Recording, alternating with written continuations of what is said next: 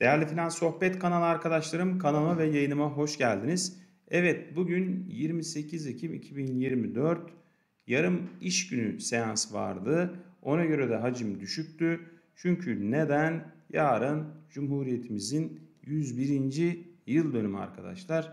Cumhuriyet gerçekten toplum olarak, millet olarak çok zor şartlarda kurulmuş.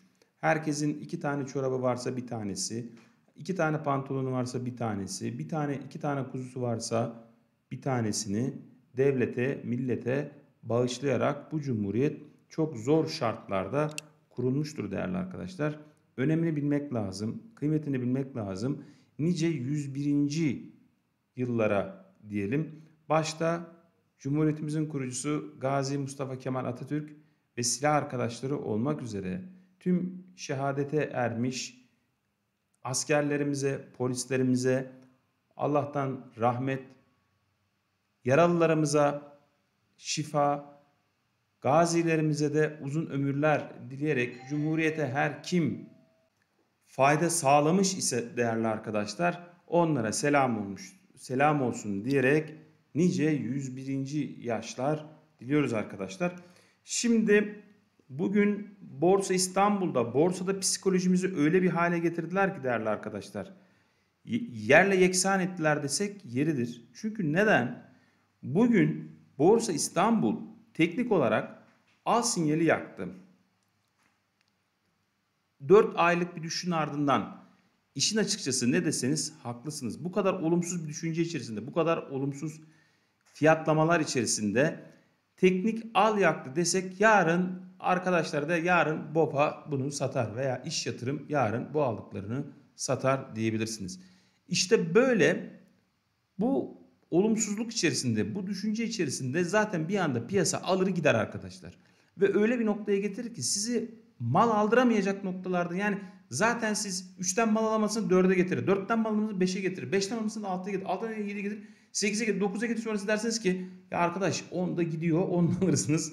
Tekrar 6'ya indirir. İşte bu psikoloji zor bir psikolojidir. Ama şu an ben sizleri düşünebiliyor musunuz? Amerika faiz indirim sürecinde, ECB faiz indirim sürecinde, borsa diplerde diplerden teknik olarak ah sinyali yakmışız ve sizlere bunu söylerken linç yeme endişesi içerisinde söylüyorum. İşte psikoloji budur arkadaşlar.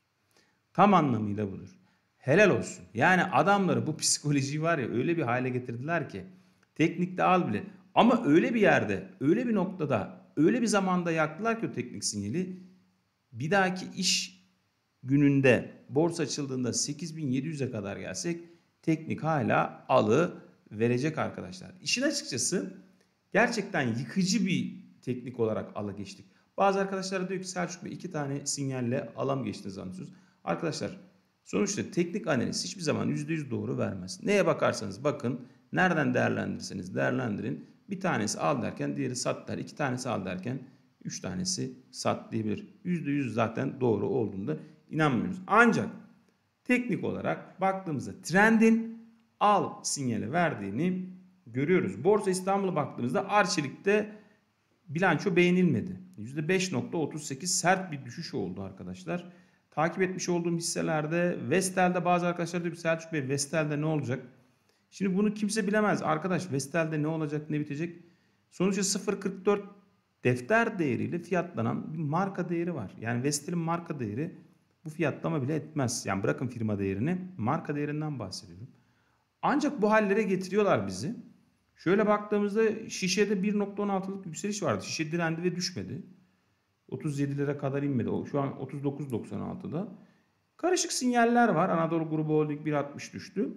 Ancak ben her zaman için dediğim gibi bu kadar bu fiyatlamaların bu düşüşü bekliyor muydum? Hayır beklemiyordum. Benim beklentim 9400'lerden endeksin yukarıya yönelmesiyle ancak 8700'lere kadar da geldik ve ben sizlere buralardan ben çok açık bir şekilde malımı satmayacağımı, istediğim kadar taşıma maliyeti olsun, isterse kadar istediği kadar politika faizi olsun, ne olursa olsun ucuza mal vermeyeceğimi kendisine sizlere burada söylemiştim. Şimdi ABD kalkınma Finansman kuruluşu ne dedi arkadaşlar? Bunlar önemli haberler. ABD Kalkınma Finansman Kuruluşu. Çünkü paranın musluğu bu adamlarda. Türkiye yatırım için oldukça cazip yerlerde dedi.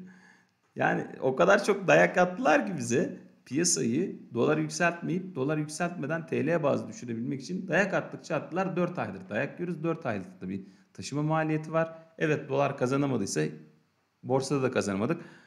Ancak bu Amerikan Kalkınma Finansman Kuruluşu'nun Türkiye cazip demesi ve bizi önermesi ciddi bir olay. Ciddi bir olay. Çünkü bu kadar ucuzluk içerisinde Amerikan fon yöneticilerine gelin buraya yatırım yapın deniyor. Şimdi Selçuk Bey sürekli pozitifsiniz, sürekli pozitifsiniz. Pozitiflikten değil arkadaşlar. Yani yatırımın manasını bilmek lazım. Diyelim ki bizim bir 3 kilo altınımız var. 3 kilo altınımızı kasaya koyduk. Kasaya koyduk. 10 yıl sonra kasayı açıyoruz. 10 yıl sonra kasayı açtığımız zaman ne elde edeceğiz arkadaşlar? İçinden 4 kilo altın mı çıkacak? Kasaya 3 kilo altın koyduysanız 10 yıl sonra açtığınızda gene 3 kilo altın çıkacak. Ama yatırım öyle bir şey değil. Yatırım demek, yatırım çoğalan demek, artan demek.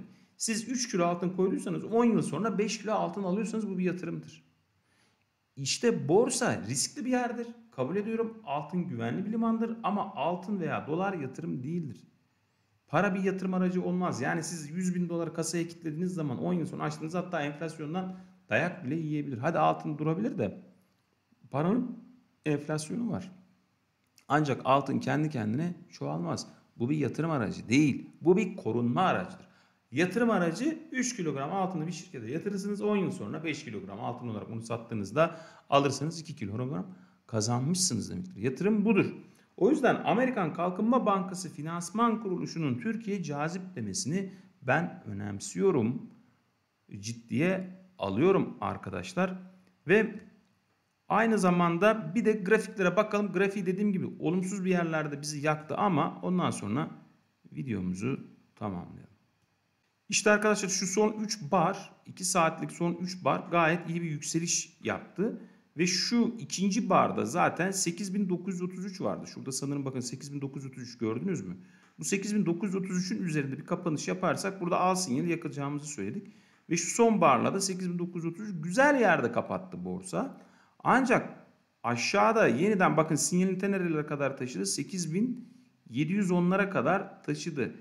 Al sinyalini yaktı ama piyasayı öldürerek bir al sinyali yakma bu. İşte önümüzdeki günlerde 9060'ın üzerine atıyor muyuz atmıyor muyuz buna dikkat edeceğiz. 9060'ın üzerine atarsak artık buraların kesinlikle bir dip çalışması olduğunu söyleyebiliriz. Hareketli ortalamanın da üstüne çıktık. Onu da bak, bak bakalım. Şurada gördüğünüz gibi hareketli ortalama ancak şu ikinci barda özellikle birinci ve ikinci bardan sonra biz yukarıya doğru şu A sinyalini yakmamız oldukça pozitif bir gelişme. Ancak hepimiz demoralize olduğumuzdan dolayı bu pozitif gelişmenin keyfini bir türlü süremiyoruz arkadaşlar. Bazen de şöyle düşünüyorum. Diyelim ki ben bir hisseyi 4 lirada aldım. 6 lira olsa satacak mıydım? Hayır satmayacaktım. 4 lirada aldım. Hedefim 8 liraydı. E hisse 3 lira oldu. 4 lira 3 lira oldu. 6 lira olsa satacağım mı? Satmayacağım. Hadi 6 lira olmuş ha. 3 lira olmuş diye bazen kendim böyle zürt tesellisi yaparım arkadaşlar. Üçüncü çeyrek bilançoları geliyor. İyi gelmiyor üçüncü çeyrek bilançoları. Bunu buradan ifade edeyim. Güzel gelmiyor. İnşallah son çeyrek bilançoları da iyi gelir diyelim. Kendinize iyi bakın. İyi tatiller.